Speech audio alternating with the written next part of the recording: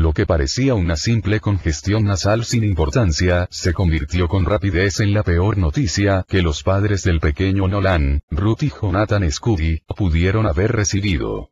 Su adorado hijo, de tan solo tres años de edad, fue diagnosticado con una extraña y agresiva forma de cáncer, rabdomiosarcoma. Fueron 18 meses de lucha intensa contra una enfermedad que no cedía.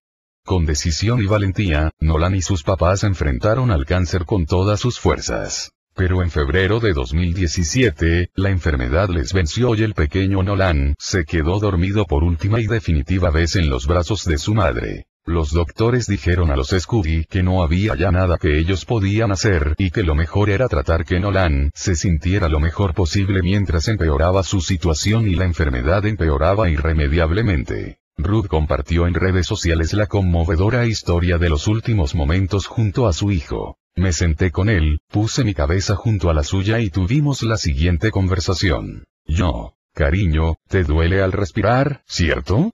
Nolan. Bueno, sí. Yo. ¿Tienes mucho dolor? No, cariño.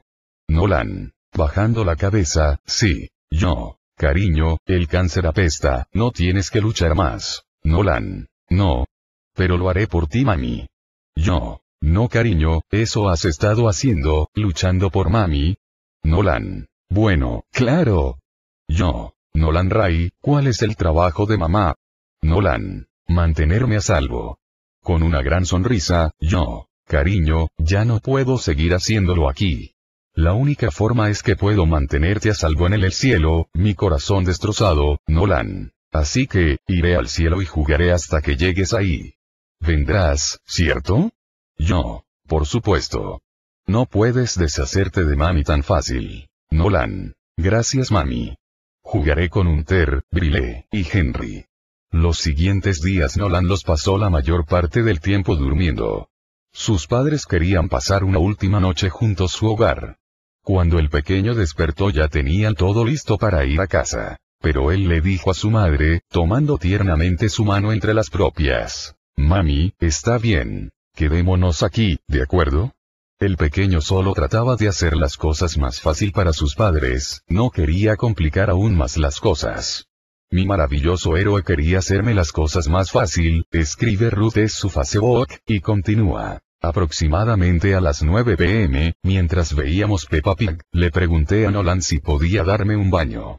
No me había separado de él ni un momento, siempre estaba junto a él acariciándolo. Él dijo, MMMMM, de acuerdo mami.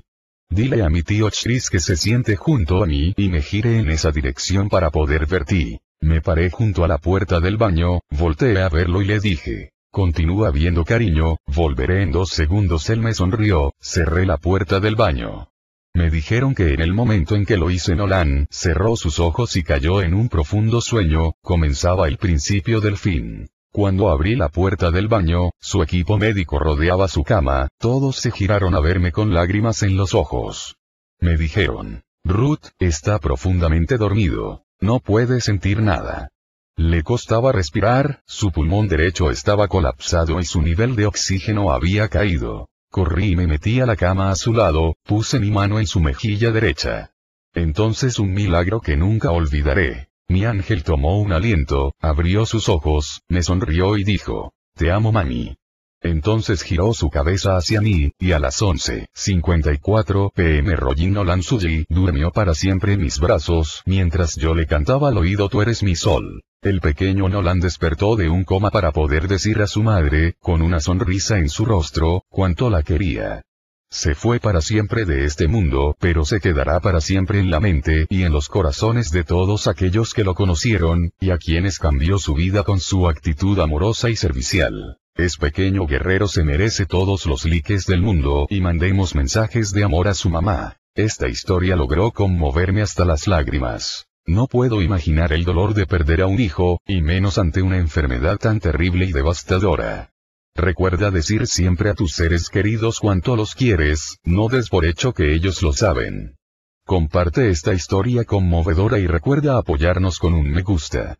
Si tienes o conoces una historia similar, nos encantará leerla en los comentarios.